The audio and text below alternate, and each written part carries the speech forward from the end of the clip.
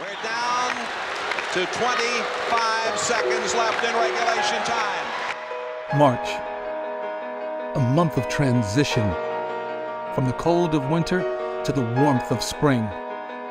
But we all know what March is really about madness. In these moments of madness, one thing is for certain that clock is going to strike zero.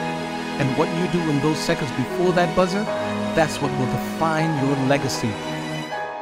Think back to all the work that you've put in this year, the workouts that left you barely being able to stand. You got through all that so that you could be standing here today with an opportunity to live out those seconds. I had my opportunity, and let me tell you, I made the most of it. So when it comes down to those final seconds, game on the line, the entire country watching, make them remember your name.